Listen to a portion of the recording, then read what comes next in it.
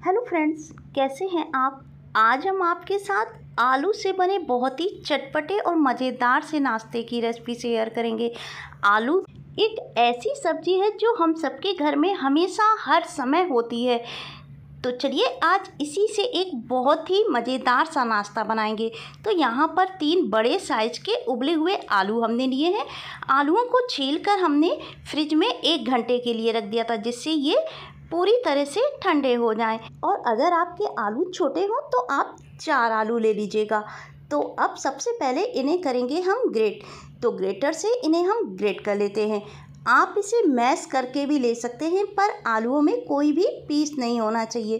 तो ये लीजिए, आलू को हमने ग्रेट कर लिया है। अब इसमें दो हरी मिर्च बारीक काट कर डाल देंगे, साथ ही आधा इंच अदरक का टुकड़ा है। इसको ग्रेट करके डाल देते हैं।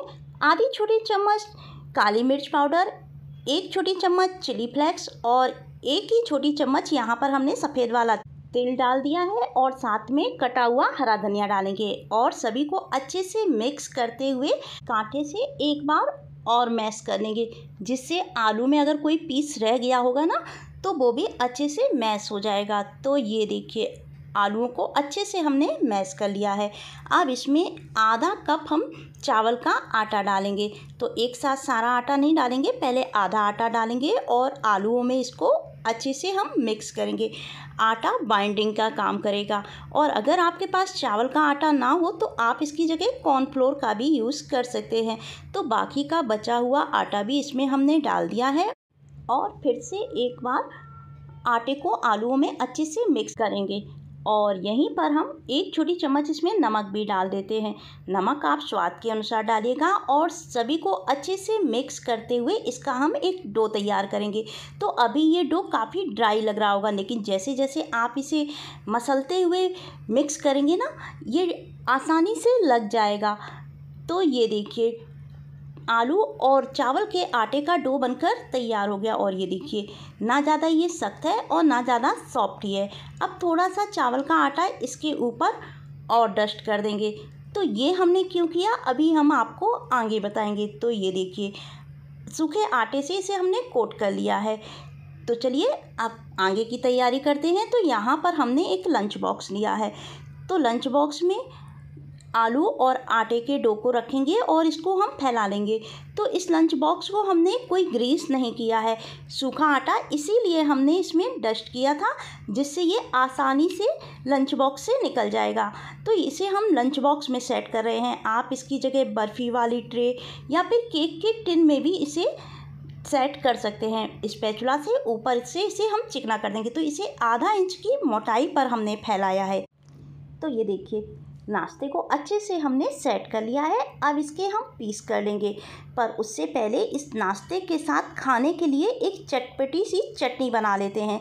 तो यहाँ पर हमने मिक्सी का जार लिया है और इसमें डालेंगे धनिया। तो धनिया को पहले ही अच्छे से धुलकर हमने साफ़ कर लिया था और डंडियों के साथ ही धनिया को हम मिक्सी के जार में डाल देंगे और साथ में एक हरी मिर्च भी तोड़कर डाल देते हैं। और दो चम्मच यहाँ पर रोस्टेड चना दाल डालेंगे। इससे चटनी टेस्टी भी बनेगी और चटनी हमारी गाढ़ी भी बनेगी। और अगर आपके पास ये ना हो तो आप आलू भुजिया या बेसन वाले सेब की जो नमकीन होती है, उसे भी डाल सकते हैं। खटास के लिए एक चम्मच नींबू का रस डालेंगे और दो से तीन कलियाँ लहसुन की डाल देंगे। लहसुन नहीं खाते हो तो आप स्किप कर दीजिएगा और तीन से चार चम्मच पानी डालकर इसको हम पीस देंगे। तो ये देखिए, हमारी चटपटी सी हरी धनिया की चटनी बनकर तैयार हो गई। और ये देखिए, कितना बढ़िया कलर भी आया है। तो एक बाउल में इसको हम निकाल लेंगे और अब इसमें थोड़ा सा नमक डालेंगे और मिक्स करेंगे। तो इस चटनी को आप दो दिन के लिए फ्रिज में स्टोर करके भी रख सकते हैं। तो ये चटनी बनकर हमारी तैयार हो गई। तो चलिए अब अपने नाश्ते के हम पीस भी कर लेते हैं। तो जैसी मर्ज़ी हो, वैसे आप इस नाश्ते के पीस कर सकते हैं। पर आज हम इसके छोटे छोटे स्क्वायर शेप में पीस करेंगे। तो ये देखिए, कितनी आसानी से पीस हो रहे हैं। चाकू में ये बिल्कुल भी चिपक भी नहीं रहा है। तो ये लीजिए, इसके पीस हमने कर लिए हैं और अब एक पीस हम आपको निकाल कर भी दिखाते हैं। तो ये देखिए, कितनी आसानी से ये पीस निकल रहे हैं। ये देखिए। तो आप इस तरह से इन पीसों को एयर टाइट डिब्बे में भरकर सात से आठ दिन के लिए स्टोर करके रख सकते हैं, क्योंकि इसमें हमने लहसुन प्याज नहीं डाला है, ये बिल्कुल भी ख़राब नहीं होंगे। और जब आपको खाने हो तो आप इन्हें फ्राई करके खा भी सकते हैं। आप इन्हें सेलो फ्राई डीप फ्राई जैसा मन हो, वैसा आप इन्हें फ्राई कर सकते हैं। और इस नाश्ते को और ज़्यादा क्रिस्पी बनाने के लिए हम इसे कॉर्नफ्लोर में एक बार कोट कर देंगे। तो ये देखिए, एक पीस को लेंगे कॉर्नफ्लोर में कोट करेंगे और एक्स्ट्रा कॉर्नफ्लोर को हम झाड़ देंगे।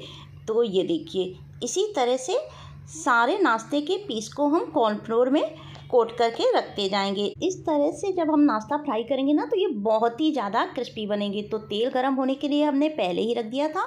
मीडियम गर्म तेल में एक एक करके हम नाश्ते को डालते जाएँगे। तो यहाँ पर हमने सारा ही नाश्ता डाल दिया है। और जब एक साइड से हल्का गोल्डन कलर आ जाएगा, तब इन्हें हम पलट देंगे।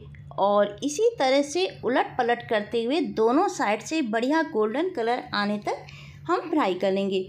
तो ये देखिए, दो से तीन बार इन्हें उलट पलट करके हमने फ्राई कर लिया है। और ये देखिए, कितना बढ़िया नाश्ते पे कलर भी आ गया है। पर इसे आप मीडियम फ्लेम पर ही फ्राई करिएगा, जिससे ये क्रिस्पी हो सके। तो देखा आपने फ्रेंड्स घर पर रखे आलू से ही ये मज़ेदार सा हमारा नाश्ता बनकर तैयार हो गया। तो नाश्ते पे बहुत बढ़िया कलर भी आ चुका है। तो हम उठाकर आपको दिखाते हैं। ये देखिए, कितना बढ़िया नाश्ते पे कलर आया है। तो गैस को कर देंगे बंद और अब इस नाश्ते को हम निकाल लेते हैं। और ये नाश्ता बिल्कुल भी ऑयली नहीं होता। तो चलिए फटाफट से इस नाश्ते को हम निकाल लेते हैं। ये देखिए फ्रेंड्स, देखने में ये जितना अच्छा लग रहा है ना, खाने में ये उससे कहीं ज़्यादा टेस्टी है। तो ये लीजिए, नाश्ता बनकर हमारा तैयार हो गया और इसे हरी धनिया की चटनी के साथ हम सर्व करेंगे। तो ये नाश्ता कितना क्रिस्पी है, इसकी आवाज़ भी सुनिए। सुनिए आपने आवाज़? तोड़कर भी हम आपको दिखाते हैं। ऊपर से बहुत ही क्रिस्पी और अंदर से उतना ही ज़्यादा ये सॉफ्ट है। आप इसे ब्रेकफास्ट में शाम की चाय के साथ या घर पर कोई मेहमान आए ना तो फटाफट से आप इसे बनाकर तैयार कर सकते हैं। बाहर से आपको इसके लिए कोई भी सामान नहीं लाना है। तो कैसी लगी आपको आज की हमारी चटपटे मज़ेदार आलू से बने नाश्ते की रेसिपी? कमेंट करके हमें ज़रूर बताइएगा। और यदि रेसिपी अच्छी लगे तो उसे लाइक और शेयर भी ज़रूर करें। चैनल को सब्सक्राइब करना बिल्कुल भी ना भूलें। ऐसी ही नई रेसिपी के साथ नेक्स्ट वीडियो में हम आपसे फिर मिलेंगे। Thank you.